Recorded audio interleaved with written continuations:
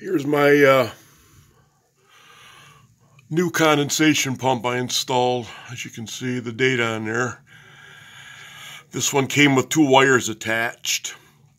It's a, uh, if I can hold this thing steady and show you these two wires. Well, it's, it's I've changed it to one, but there was two wires hanging out of here, which are normally wired inside of here to normally closed contacts.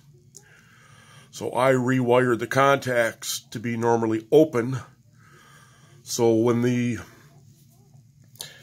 the switch level in here changes and activates this switch, it closes the contacts, which then activates this Watchdog water alarm here.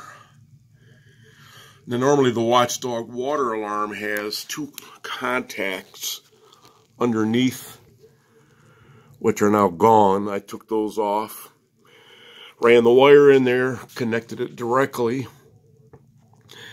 and then figured I better have a way to check the battery inside of that thing because if the battery dies, I'll never get my alarm if the condensate pump quits working. And then I'll have water over the floor.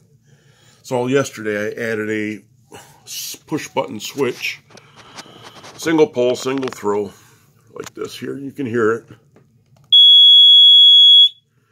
Pretty loud, eh? And it's just hanging on the furnace here with a screw, so that's why it's uh, that's why it's moving like that. I don't. I mean, it's tight. It's not going anywhere.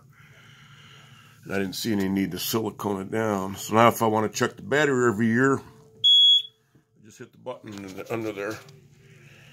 Yeah. You see the little red button in there, right? All right, cool, cool. Let's see where we at here.